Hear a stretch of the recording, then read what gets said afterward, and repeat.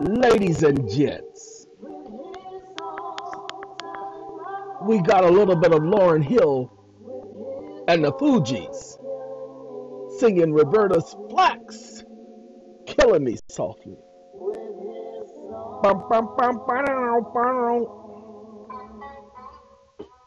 Ladies and gentlemen, we need to go ahead and bring those of you who are dealing with mortgage issues. We know that they're getting ready to um, start with the foreclosures during the winter. Need you all to pay attention to that fact right there. During the winter. Now remember that idiot said that you guys were going to go through a dark winter. Now remember, I'm the first person that shouted to all of you that they were going to release something and then they were going to release a trigger. And that trigger is what's going to lead to all of the so called deaths. Isn't it interesting that the new Omicron, Omicron, is not as bad as we thought it was? But we made all this hype about it, but it ain't as bad. And then watch and see how it infects everybody, especially those who have been who have been vaccinated. And then watch and see what happens after that. Just hey, you heard it here first. This is the way they think, ladies and gentlemen. They distract you with all of the hoopla, and then they hit you aside the head with a sledgehammer. And you're supposed to go, Why'd you do that? Okay? So let's go ahead and talk. Those of you who have mortgages, this is for you. You need to see this information, you need to hear this information. T R I D. Trent! Hey, what up, Trent? Guidance for loan numbers. Hey, ladies and gentlemen, there's some guidelines for loan numbers. No, they're not just guidelines, there's a law showing you what can and cannot be done with a loan number. Now, I've shown this to you before, but I like the way this particular website, June 25th, 2019, put this information out there for y'all. This is B as in Baker, M A N D, so B manned G. B, M as in Mandy, A as in Albert, N as in Nancy, D as in David, G as in George, dot com, forward slash best hyphen practices hyphen T R I D hyphen guidance hyphen on hyphen loan hyphen numbers. Just this sentence right here, no colon, just dashes between every word. You can actually type this in Google and get here faster. I'll get there when you get there. Ain't you supposed to be saying I'll see you when you get there? Nope, I'll get there when you get there. Okay, ladies and gentlemen, pay attention. We sat down again with Millie Simmons, our closing supervisor, fulfillment manager, in Lowermond. Ladies and gentlemen, I love titles. These people got all of these titles and they think they're somebody. Anyway, for advice about a common question that arises with a closing. It arises with a closing? Ah, hold on. Millie, it is acceptable for a loan to close, or is it acceptable for a loan to close with a loan ID number showing to be determined? no, you can't do that. You need a loan number on the documents at closing. Hold on. In this case, the closing docs has not yet been disclosed, and the lender is inquiring whether it is acceptable to change the loan ID or close with a TBD showing on the loan docs. Ladies and gentlemen, they wanted to know whether it is acceptable to change that loan ID number. Let's find out, okay? According to TRID, the loan number must be unique to that loan. It's called a transaction number. Ladies and gentlemen, in the background, we got my man, Richard Dimples Fields. And he's talking about if it ain't one thing, it's another. Ladies and gentlemen. Or close with the to be determined showing on the loan docs and the closing docs. Ladies and gentlemen, they cannot do to be determined on the closing docs. There must be a unique loan identifier number on that. The number is unique. It is the reason why it is unique because it's for that loan. Hold on, let me make sure y'all understand. This number, this loan number associated with this mortgage is a unique number for that loan. Okay, not just any number, that loan. No other loan has that number. Pay attention. According to TRID, the loan number must be unique. The loan number must be unique. To be determined does not appear to be unique per TRID's guidance, as it does not appear tailored towards a specific consumer. That loan number is your number. You're the consumer. It identifies a transaction. They can't just change it because they felt like it. How many of you have five, six, seven, eight loan numbers throughout the course of your loan? There is no provision in law for that. Let's continue. Our opinion is that it would not meet this requirement. What requirement? Here is the official comment to section 1026.37A12. This is from the Truth in Lending Act, ladies and gentlemen. Keep that code with you. Don't lose it. That's your code. By my side, she's Dr. Jekyll, Mr. Hyde. Sorry. Richard Dimples Fields, y'all.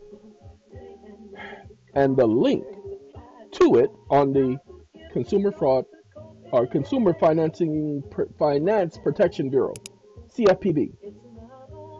Unique identifier. Ladies and gentlemen, this is every loan must have a unique identifier. Not eight unique identifiers, one unique identifier. Pay attention. 102637 A12 requires 1026.37 A subsection A at subsection 12 requires that the creditor disclose a loan identification number that may be used by the creditor, the consumer, and other parties to identify the transaction. Labeled as loan ID number. The loan identification number is determined by the creditor, not by the new creditor, not by the third creditor, not by the fourth creditor, but the original creditor, people. Wait, how do we know this? Which number may contain alphanumeric characters because the number must allow for identification of a particular credit transaction, the original transaction. Under 1026.37A12, a creditor must use a unique loan identifier uh, identification number, i.e., the creditor may not use the same loan identification number for a different but related loan transaction, such as a different loan for the same borrower. Pay attention. May not use the same loan identification number for a different but related loan, such as a different loan for the same borrower. They also can't use a different loan number for the same borrower for the original transaction where a creditor used a revised loan estimate for the transaction. Remember, pay attention. Revised loan estimate for the original transaction when they came up with the loan number originally. Notice what they must do. The loan identification number must be sufficient to enable the identification of the transaction pursuant to this right here, which means it must have a hyphen and include the original loan number at the beginning before that hyphen. So it can be whatever the loan number was, dash A, dash B, dash C, dash E, dash F, F, G. You see what I'm saying? So, ladies and gentlemen, uh, when you all get the chance, I want you to go here and then I want you to click on the Consumer Finance Protection Bureau website because they have a link to the code. Okay? I want you all, sorry, let's um, Let's make this a little bit larger. Y'all don't mind?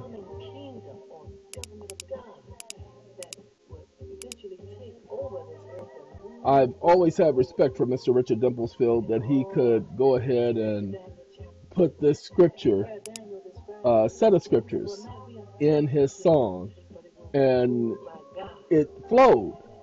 Got to give my boy credit. You know what I'm saying? Loan identification number, loan ID, a number that may be used by the creditor, consumer, or other parties to identify the transaction, not the several transactions, labeled loan ID number. For official interpretation of this, official interpretation, uh, y'all don't get to interpret nothing. What the, y'all talking about official interpretation? Hold on, ladies and gentlemen. Let's find out what's going on with the interpretation. Unique identifier. Section, this section right here requires that the creditor disclose that the creditor disclose a loan identification number that may be used by the creditor, consumer, and other parties to identify the transaction, the original transaction, not the latter transaction. We'll prove to you that it's original transaction in just a second. Labeled loan ID number. The loan identification number is determined by the creditor, the original creditor, not the subsequent creditors. Which number may contain an alphanumeric characters because the number must allow for the identification of a particular credit transaction under this section. The creditor must use a unique loan identification number, i.e., the creditor may not use the same loan identification number for a different but related loan transaction, such as a different uh, different loans to the same borrower, such as different loans to the same borrowers. Only one loan number per loan. When a creditor issues a revised loan estimate or a revised loan number, for a transaction, the loan identification number must be sufficient to enable the identification of the transaction pursuant to this. That original loan identification number. Now, let's see the interpretation, okay? In supplemental supplement one. I'd rather be with you. Yeah. Sorry, this is uh my girl Leela James and she's saying that she'd rather be with you. Unique identifier requires the creditor to disclose that, and letter creditor must use loan identification, which is issued by the loan estimate. The identification sufficient. It just took us back to the same thing, so it took us in circles. Ladies and gentlemen, the original information was on the website for the Consumer Finance Protection Bureau on their first page, not this page. This is the link to this section, but where they put the original loan information originally. Okay, look at that. RH, a loan that is insured or guaranteed by a state agency must also be disclosed as other. Um, ladies and gentlemen, what I want you guys to do is I want you to understand there is no provision for them changing that number. There is no provision because it deals with the original transaction. When your loan is sold to another entity, you don't have a new creditor, ladies and gentlemen. It is just the creditor. Even though the name may have changed, it's not a new loan. So they don't get permission to change anything. Okay, I just want y'all to understand what's going on here. They cannot change the loan number, people. They never have permission. This is just a practice junk that they do. Okay? I don't want to search the regulation. I want to go uh, back to the CFPB to the very beginning. Okay, ladies and gentlemen, Truth in Lending Act, regulation number Z. So, y'all hold on a second. Interactive Bureau Regulations, Banks and Banking. CFR, Code of Federal Regulations, and Home Credit Opportunity Act, Mortgage Dis- Home Mortgage Disclosure, uh, mortgage leasing, mortgage licensing, fair debt collection practices, land registration, consumer fair credit reporting, uh-huh. truth in lending. Do you see that right there? Truth in lending. There are some amendments for April 1st, 2022. Let's see what amendments has been put in the Truth in Lending Act for next year. This is not the current regulation. Yeah, I, I know it's not the current regulation, you ignorant mother. I apologize, ladies and gentlemen. Uh, view this version. Okay. Definition rules exempt transactions. Authority, don't care. Purpose to promote the informed use of consumer credit by requiring disclosures of the terms and costs and blah, blah, blah, blah, blah. Coverage, official interpretation, and credit cards except transactions subject to this. No person is required to provide disclosures required under these sections of the Truth in Lending Act for Real Estate Settlement Procedures Act for RESPA.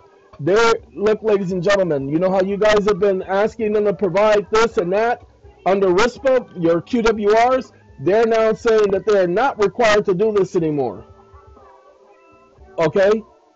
If the person, if no person is required to provide disclosure required by these sections of the Truth in Lending Act for RESPA, R-E-S-P-A, the Real Estate Settlement Procedures Act, or the disclosure required prior to the settlement by the 129CH or the Truth in Lending Act, except in transactions subject to 1026.20E. No person is required to provide the disclosure required under this section 129 DJ 1B of the Truth in Lending Act, except as transactions under 126.39D5. No person becoming a creditor with respects to an existing residential loan is required to provide disclosures required by these sections of the Truth in Lending Act. That you will no longer be able to demand they prove this or prove that, ladies and gentlemen. They are tying your hands behind your back. Hey, if I ruled the world, I free all my sons. I love them, love them, baby. Ladies and gentlemen, this is Kurtis Blow, the original If I Ruled That World. Okay? All right. Just thought I'd show this to you guys to let you know what's coming. No more QWRs, ladies and gentlemen. They're about to change the whole game.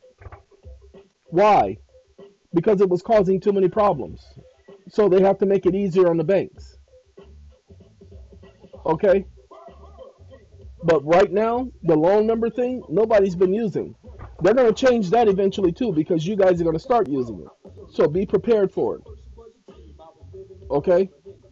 Hey, ladies and gentlemen, gentlemen and ladies, ladies and gents, we're on the Mac. That's right, we're on the Macintosh computer this time. And so what I'm about to do is I'm about to leave y'all to y'all day because it's been a long day for me. Gotta go. Take care.